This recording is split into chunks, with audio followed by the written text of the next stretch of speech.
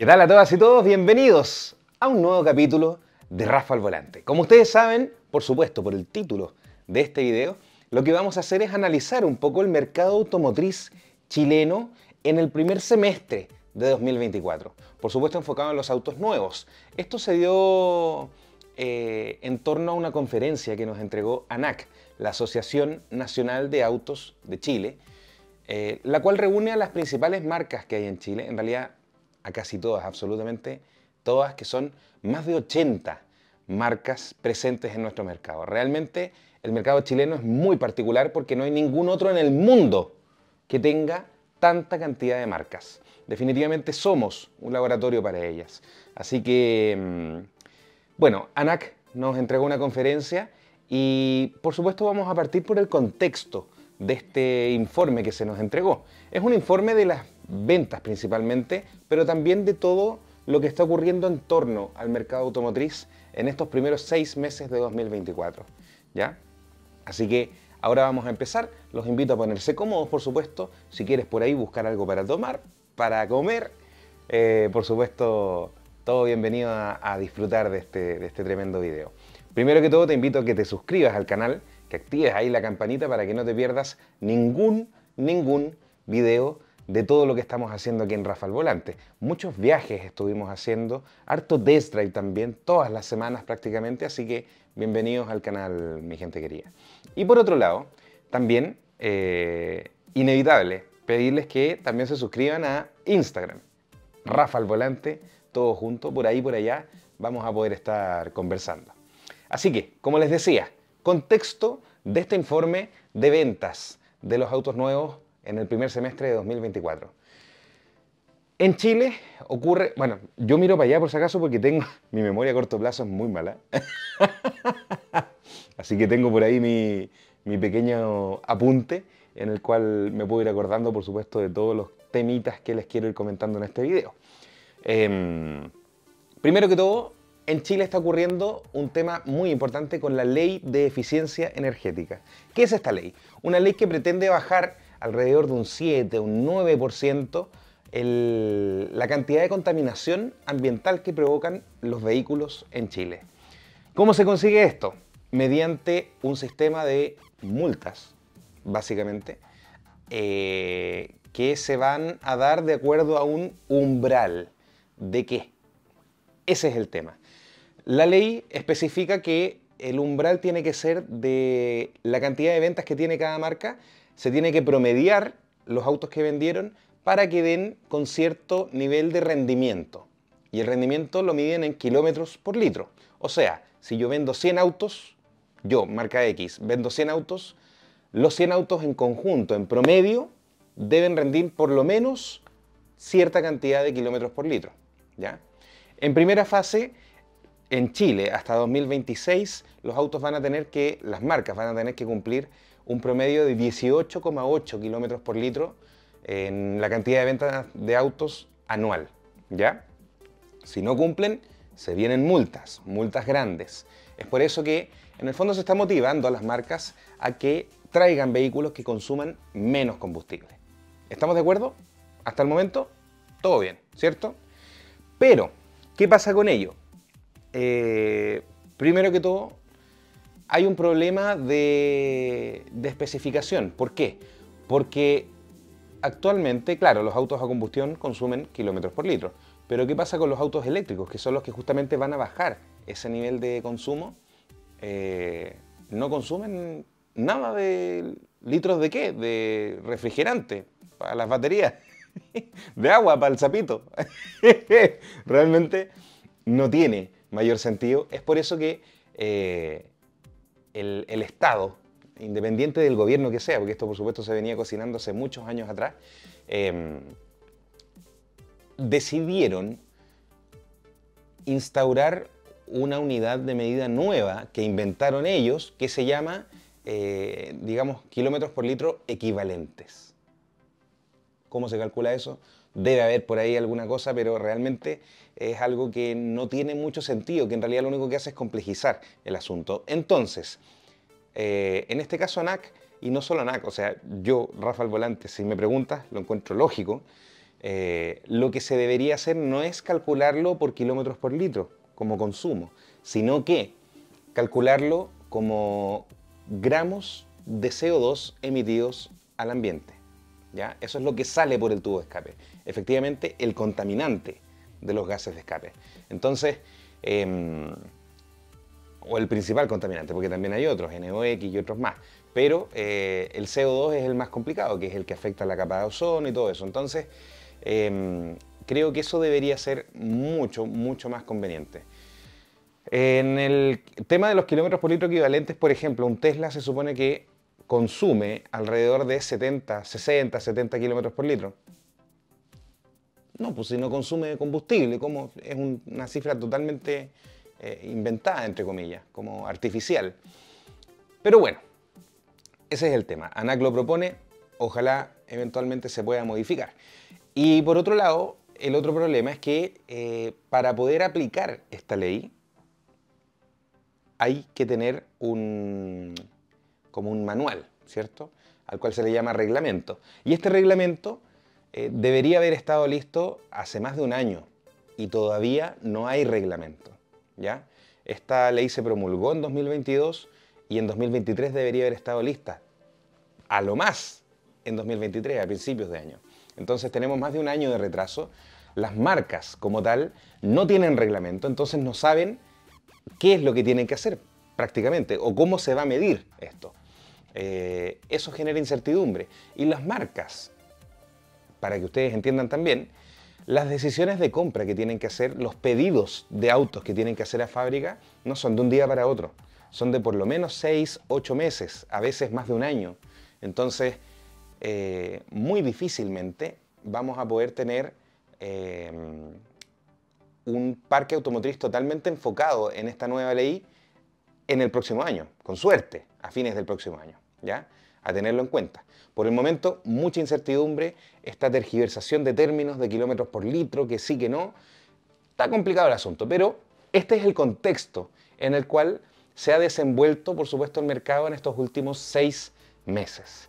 Y ahora, eh, vamos a hablar un poquito del mercado. Este mercado ha bajado su nivel de ventas alrededor de un 10%. Se vendieron alrededor de 140.000 unidades en estos primeros seis meses de, vida del 2024. Em, es una cantidad no extremadamente baja, si me preguntan a mí, viendo históricamente las ventas del primer semestre de cada año, eh, sí, estamos más bajos que el 2023, que el 2022, que el 2021, pero porque por supuesto, después de la pandemia hubo mucha liquidez. Se vendieron y se compraron muchos autos, eso todos lo sabemos, ¿cierto? Los autos se inflaron de precio, incluso los usados costaban casi el doble. Ahora todo eso está reculando, está volviendo a la normalidad, ¿cierto? Y la normalidad justamente habla de estas cifras que están ocurriendo ahora, ¿ya? Quizás están un poquito más bajas de lo normal, pero un poquito. Vamos a ir viendo ahí qué es lo que pasa. Eh, desde ANAC nos dicen que siempre el segundo semestre es mejor que el primero. Así que desde ahora hasta fin de año la cosa debería mejorar todavía. O sea, se deberían vender más de 140.000 unidades en lo que queda del año. ¿ya? Eso es importante. Ahora, eh, de estas 140.000 unidades vendidas, yo, por supuesto, como es el título de este video, lo que quería hacer era, por supuesto, un ranking, que creo que es lo más lúdico, lo más entretenido que se puede hacer con estas cifras. Entonces vamos a hablar del top 3 de los autos más vendidos en Chile durante 2024 por segmento. ¿ya? Son cuatro segmentos, básicamente. Comerciales, camionetas, SUV y vehículos o autos. El mercado le llama vehículos de pasajeros, pero son autos, básicamente, hatchback o sedán. ¿ya? Entonces, eh, en cada top 3 vamos a poner ahí un extra con los tres siguientes, ¿ya? Entonces vamos a hablar principalmente de los primeros tres y luego vamos a mencionar los tres siguientes. Vamos a partir por comerciales, los cuales por supuesto tiene que ver con camiones pequeños y furgones. Ello por supuesto lo lidera el Peugeot Partner con alrededor de 2.500 unidades vendidas, que por supuesto es un furgón que lleva prácticamente 20 años en Chile, si es que no más. Eh, una historia muy, muy fructífera, muy confiable. Eh, las empresas confían en este modelo y hasta el momento la verdad es que ha funcionado muy, muy bien. Eh, ya sea en Arica o en Punta Arenas, siempre vas a poder ver por ahí una Peugeot Partner repartiendo algo de alguna empresa de luz, de gas, de televisión, cualquier furgón, por ahí generalmente siempre va a ser una Peugeot Partner. Y lo mismo con el número 2 de este top, que es el Citroën Berlingo, que es básicamente el mismo furgón. no, es, secreto que, estos autos se, se, comparten plataforma, es prácticamente el mismo auto, solo con el logo de una marca u otra. ¿ya? Así que Citroën, Berlingo y Peugeot Partner lideran el top 1 y 2 de los vehículos comerciales. ¿ya? Eh, Berlingo vendió 1.631 unidades. Y siguiente tenemos la Kia Frontier, que también es este pequeño camioncito que sirve mucho, sobre todo para mudanzas, eh, empresas de construcción, etcétera, etcétera, muebles, para todo tipo de traslado de cosas un poco más grandes. Ahí está la Frontier, como siempre. 791 eh, unidades. Y luego tenemos Hyundai Porter, Chevrolet N400 Max, que es este furgón un poquito más grande que el N300, ¿cierto? Este es de origen chino, con el logo Chevrolet, pero es chino. Y eh, por último, Renault Express, que es este furgón un poco más grande, ¿ya? Así que eso pasa con comerciales. Eh, hablemos de camionetas camionetas. Aquí yo sé que van a salir hartos comentarios. Por favor, lo que se les vaya ocurriendo, déjenlo aquí abajo en los comentarios. Eh, pasa con camionetas que tenemos inevitablemente el algoritmo un poco alterado por la minería. ¿Ya? La minería, por supuesto, que consume gran parte de este segmento. Incluso pone a la Hilux, que es el número uno de este top 3, lo pone en el número uno a nivel general. Es el auto más vendido en Chile. Y por supuesto, porque trabaja en la minería y es la camioneta preferida por, esta por estas empresas. ¿ya? Hilux vendió alrededor de 4.500 unidades, luego Mitsubishi L200, que por supuesto es la competencia con 3.900 unidades, anda por ahí cerquita la verdad. Las dos son las más vendidas porque también, hay que decirlo, son las más resistentes. Porque es increíble, mi gente, eh, no sé si ustedes han visto, pero por Dios que se maltratan los autos en la minería. Así que eh, bien ganado ahí el top 1 y 2 de camionetas. Luego lo sigue una sorpresa, creo yo. Aunque no tan sorpresa, para los que estamos en el rubro un poco lo sabíamos porque tenía que ser así. El, número 3 de los autos más, de las camionetas más vendidas en 2024 en Chile lo tiene Great Wall Motors con su Haval, perdón, con su Power. Haval solo es SUV. Power es la camioneta. Así que, efectivamente, eh, la Great Wall Power con 2.700 unidades, claro, es un poquito menos ya que las dos primeras de minería, pero aún así son muchísimas, muchísimas camionetas. No para minería, pero sí para cualquier otro rubro. Eh, yo la probé, por ahí pueden ver la review, es de hace alrededor de un año y medio, dos años atrás. Eh, muy buena review, creo que es una muy buena camioneta, me gustó muchísimo muy cómoda, muy bien equipada y a buen precio. Así que excelente por la Power en su lugar número 3. Y las tres camionetas siguientes, que también tienen que ver más con el uso particular o de empresas medianas, no de minería, tiene que ver con Maxus T60, muy buena camioneta en general para uso normal, citadino, harta carretera. Y eh, luego viene Ford Ranger con la nueva Ranger, que por Dios que está linda, ¿cierto? Eh, creo yo que de todas las camionetas modernas, la Ranger es la más bonita. Coméntenme ustedes, de las camionetas, ¿cuál es la que encuentran más linda en la actualidad? Y por último, en el sexto lugar está la Ram 700, que ya es otro segmento eh, para un uso mucho más doméstico o de cositas de cargas pero más pequeñas, plantas, herramientas pero pequeñas, cosas más citadinas, ¿cierto? Ruedas pequeñitas tiene esta camioneta. Entonces, la RAM 700 por ahí está cumpliendo bastante con lo que la gente anda buscando, definitivamente.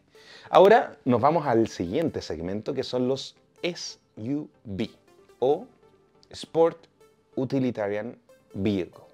O sí, es Sport, sí, sí, sí, sí, sí. Sport Utilitarian Vehicle. Este segmento, por supuesto, que es muy grande, aunque la verdad es que este año no ha crecido más que el año pasado, incluso ha bajado un poquitito su, participación en el mercado. Entonces, mm, por ahí, digamos, ¿qué es lo que pasa? Creo yo. La oferta es demasiado grande. O sea, tú tienes 20 millones de pesos y te quieres comprar un SUV y tienes cientos de opciones. Y yo creo que eso es complicado, porque se reparten demasiado la torta y la torta no es más grande, solo se reparten más porciones. Entonces cada marca va a vender menos y eso es lo complicado. Y esto está claramente demostrado en, las cifras. Los SUV parten con el número uno Chevrolet Groove, un SUV de origen chino, nuevamente con el logo Chevrolet, pero chino, del grupo SAIC, que, que ha vendido alrededor de 2.800 unidades. O sea, prácticamente la mitad que camionetas, ¿cierto?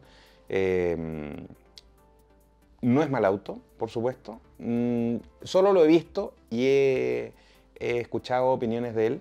No me ha tocado probarlo, pero sí me parece que es un, buen auto, es bonito, se ve bien hecho. No he visto que tenga mala vejez, así que bien por el Groove.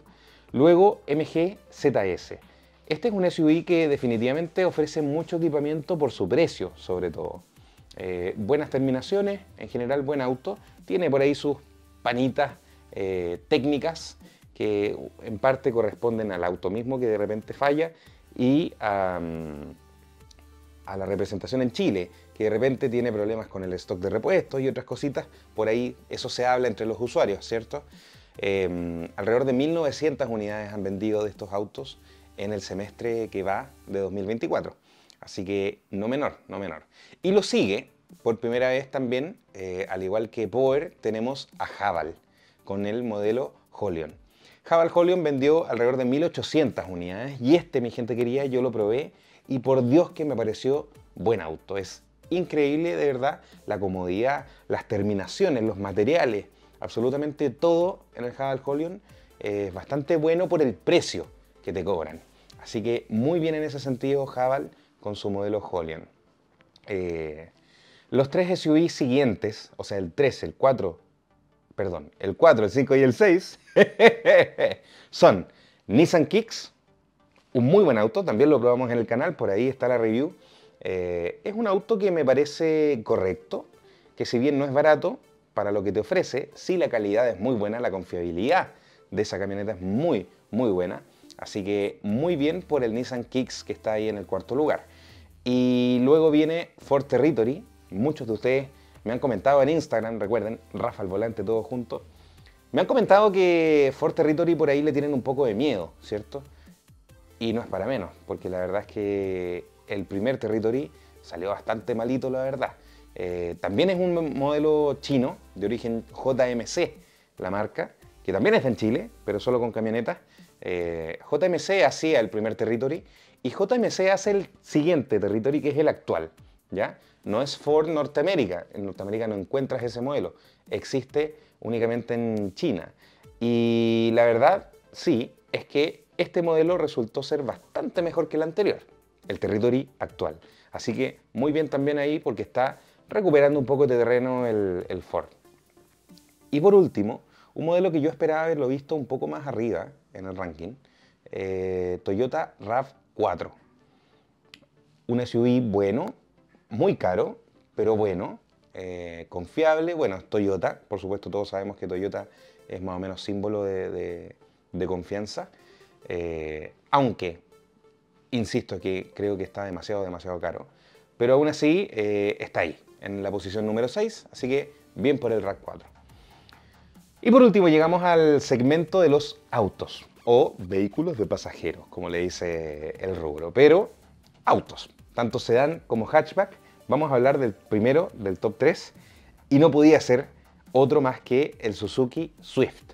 Empieza esta lista con 2.666 unidades vendidas. Este hatchback, tanto de origen japonés como indio, ojo ahí, porque es muy fácil confundirse. Por ahí también tengo un video de cómo identificar si tu Swift es indio o japonés.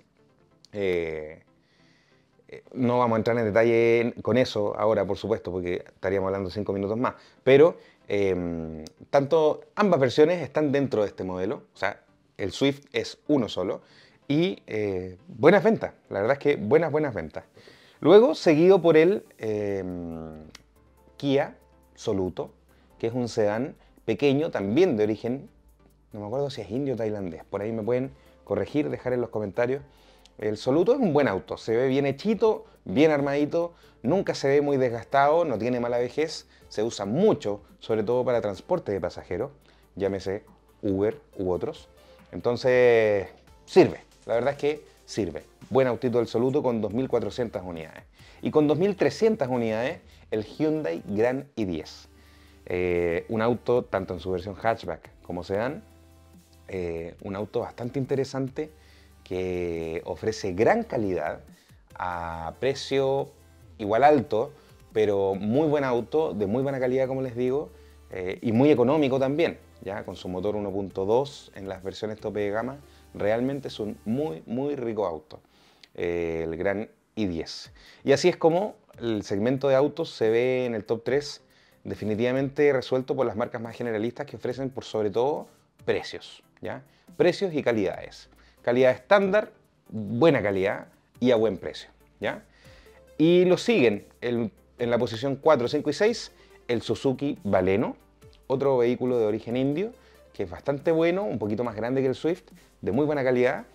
Y luego viene el Chevrolet Sail, que me parece a mí, este es un, vehículo bien interesante porque les quedó muy bonito eh, a, la gente de Chevrolet, que bueno, en realidad también es un vehículo chino de origen SAIC, como toda la gama baja de Chevrolet, son todos los autos de, origen SAIC en China, entonces em, la verdad es que quedó muy bonito este modelo y está repuntando fuerte. Sail fue por mucho tiempo el auto más vendido en Chile y yo creo que para allá va de nuevo, ¿ya? Em, bien, va bien. Y por último, Hyundai Accent en la posición número 6, que es un auto que también es interesante, se ve bonito, bien armado, un poco más grande que el Sail. Eh, me gusta, la verdad es que me gusta. Eh, de estas ventas, como ya les dije, son 140.000 eh, unidades aproximadamente, un 10% menos que el semestre anterior, el segundo semestre de 2023. Em, en estas unidades, el origen chino se camufla en alrededor de un 10%. ¿Qué quiere decir esto? Los autos de marcas chinas, a ver, ¿cómo explicarlo? Sí, las marcas chinas vendieron un 30% de, de, toda la torta, ¿ya? El 30% de los autos vendidos en Chile son chinos, de marca china. Pero, como les dije, tanto Ford como Chevrolet, que aparecieron aquí en el top 6 de autos vendidos, eh, tienen autos que son de origen chino, pero que se venden bajo marca Ford, marca Chevrolet, marca otros más, ¿ya? Eh, en este sentido, ¿qué, ¿qué es lo que les quiero decir? Los autos que vienen físicamente de China, no importa la marca que sean, los autos de origen chino son el 39%. Entonces, hay un 9% de autos que se venden que vienen de China, pero que están vendidos bajo otra marca que no sea China, ¿ya? Ojo ahí con ese dato. Y luego también tenemos que hablar un poco de los autos eléctricos, que no están informados en este, en este extenso detalle, pero eh, definitivamente las cifras de vehículos eléctricos han subido mucho, ¿ya? Muchísimo. Este crecimiento es exponencial y se esperaba que fuera así, así que muy bien en ese sentido. ¿Qué es lo que falta? Un poquito más de incentivo, ¿ya? Eh, ¿Qué es lo que ANAC propone? Por un lado, generar patentes especiales que tengan ciertos beneficios, por ejemplo, para circular dentro de algún sector de la capital y de otras ciudades. Em, lo otro, eliminar cualquier tipo de impuestos que afecten a los autos. Eh, solamente a los eléctricos, hacer una ley específica que les permita abolir cualquier tipo de, de, impuestos, sobre todo el impuesto al lujo, que es un impuesto muy grande que afecta a cualquier tipo de auto por su rango de precio, más que por equipamiento u otra cosa. Los autos eléctricos son caros por, por definición, porque las baterías son caras. Entonces, es un poco injusto que además de ser caros por las baterías, tengan que pagar impuestos por ser caros, ¿cierto? Un poco ilógico, así que ahí, si es que nos ve alguien del gobierno, hacemos un llamado. Eso yo creo que es importante. Y lo último es reinterpretar la ley que modificaba los permisos de circulación para autos eléctricos. Lamentablemente el Servicio de Impuestos Internos la interpretó de una forma bastante rara. Eh, ¿Cuál era esta ley? La ley dice que cuando tú compras un auto, los primeros dos años no pagas permiso de circulación y luego va aumentando cada dos años. O sea, el año 3 y 4 pagas un 25% del permiso, el año 5 y 6 pagas un 50% y los dos años siguientes pagas un 75%, para recién al año 10 pagar el 100% de tu permiso de circulación, que ya a los 10 años es bajo. Entonces, ese era un muy buen incentivo, pero el Servicio de Impuestos Internos lo interpretó como que desde el momento en que se promulgó la ley iban a pasar 10 años hasta que todos los autos empezaran a pagar su servicio. Entonces, hoy día tú ya no estás pagando el 0% de tu permiso de circulación. Tú compras un auto eléctrico y pagas un 25%. Entonces no tiene sentido ese tipo de, interpretación. Y es nada más que interpretación. La ley está bien redactada, pero por ahí hubo alguien que leyó mal. Entonces es importantísimo que eso se solucione. Eh, sobre todo para incentivar justamente la compra de vehículos eléctricos, porque este tema del permiso de circulación es prácticamente el único incentivo que tenemos hoy en día y no puede ser que además de ser el único, ahora se esté interpretando mal y al final afecta a quien quiere, efectivamente, o está pensando en comprarse un auto eléctrico. Lamentable, pero cierto. Em, eso sobre autos eléctricos. Ahora quiero hablarles un poquito de las baterías de los autos eléctricos. Eh, hay una ley REP que es básicamente ley sobre el reciclaje de las baterías. Y esta ley em, digamos, actúa en base a un estudio, el cual se nos presentó y em, ¿qué es lo importante a considerar de este estudio? Que se estima que el pic de baterías por reciclar se dé recién en 2040. ¿ya? Entonces tenemos alrededor de 25 años, 26 años, para preparar una estructura fuerte de reciclaje. Hay muchos que les preocupa esto. ¿Qué pasa con las baterías cuando se echan a perder? Muchos creen que las baterías fallan rápido. No es así. La verdad es que fallan desde alrededor de 6 años en adelante y la mayoría, yo les diría que el 90%, 95% de las baterías eh, de autos eléctricos fallan o comienzan a perder su efectividad, en realidad no fallan, pero comienzan a perder su rendimiento recién a los 15 años, ¿ya? Incluso hay algunas marcas que nos permiten eh, gozar de buena salud de las baterías hasta los 30 años. Entonces, eh, realmente no es algo de lo que preocuparse inmediatamente, pero sí hay que empezar a trabajar en ello. Y por lo menos este gobierno lo sabe. Por supuesto, eso se traspasa de gobierno a gobierno. Al final es el Estado quien está preocupado de generar este sistema de reciclaje. ¿ya? ¿Qué es lo que propone ANAC? Que se separe la política de reciclaje de baterías de movimiento del auto, las baterías grandes, ¿cierto? Estas que ocupan celdas, em, que se separen respecto a las baterías de arranque, que son estas baterías que nosotros en cualquier autocombustión tenemos y que también hay que reciclar, ojo ahí, y que también generan mucha contaminación, eh, porque además esas duran muy poco, son baterías con plomo que eh, duran alrededor de 3, 4 años, incluso menos si es que no las tratas como funciona, como corresponde, perdón. Entonces es importante por ahí generar la diferencia. ¿ya? Y eh, por último, me gustaría mencionar un tema de seguridad. Eh, se sabe que en Chile hay un problema grande, aunque está bajando, pero aún sigue siendo un problema, con los portonazos, con el robo de autos, ya sean nuevos o usados. Es por esto que lo que se está proponiendo y que están en conversaciones justamente con, el Estado, con el gobierno, eh, es generar un registro nacional de desarmadurías, tener un registro de las desarmadurías y que las desarmadurías a su vez tengan un registro de los autos que están desarmando. Eh, ¿Qué se genera con esto? Una trazabilidad de las piezas mediante la cual al final lo que se busca es que para el, delincuente sea inviable seguir robando autos. ¿Por qué? Porque todos van a estar totalmente rastreados y esa es la idea, que, al final eh, no haya... quitarle la motivación al delincuente para que se deje de cometer estos delitos tan mediocres y tan, eh, bueno, malos en general. Así que eso. Espero que les haya gustado este top tres top 6, en realidad, vamos a decirlo. Fue un top 6 de, de los autos más vendidos en Chile en 2024, hasta lo que va de la fecha, por supuesto. A fin de año les vamos a tener las cifras completas. Espero que estén aquí para verlo. Espero que se suscriban al canal. Recuerden, activar ahí la campanita para que no se pierdan absolutamente ningún video de Rafa al Volante. Cuídense mucho y que estén muy bien. Nos vemos en un próximo capítulo. Adiós.